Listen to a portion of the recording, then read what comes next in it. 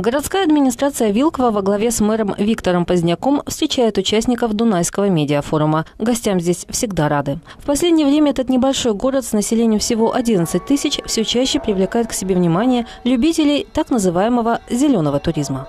Привлекает людей э, наша природа, наша экология, наш заповедник, в котором находится 56 видов птиц, очень много видов рыб, рыбалка очень хорошая, охота, то же самое, э, значит, охота до 1 февраля. Э, Есть э, такие хорошие места, где охотники охотятся хорошо.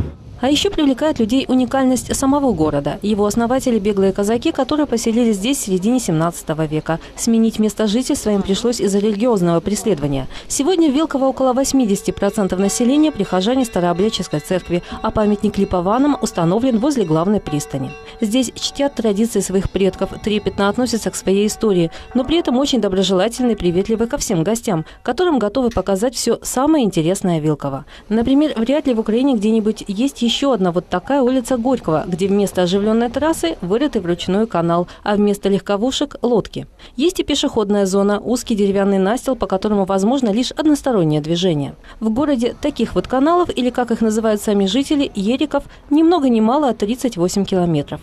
Так что жить на воде для вилковчан – привычное дело, здесь много моряков и рыбаков. Однако туристический сезон невелик, недолго длится и сезон рыбной ловли. А работа нужна постоянно. Поэтому сегодня многие вилковчане свои надежды связывают с возобновлением судового хода по каналу Дунай-Черное море. 99% вилковчан относятся к тому, что канал заработал э, с, ну, с положительной стороны. Потому что это наша жизнь, открытие канала, это наши рабочие места, это будущее наш, не только нашего Вилкова, а всей нашей Украины и Придунайского края.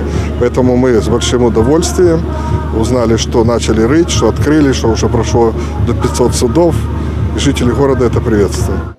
Кстати, как выяснилось, работа канала «Река-море» приносит выгоду не только тем, кто связан с транспортными перевозками. Морские грузовые суда любят глубину. Но любит ее и знаменитая дунайская селедка. А ведь рыба – один из основных промыслов жителей Вилкова и замечательная приманка для туристов. Любовь Леонидова, Кристина Кондратьева, Вести+. плюс.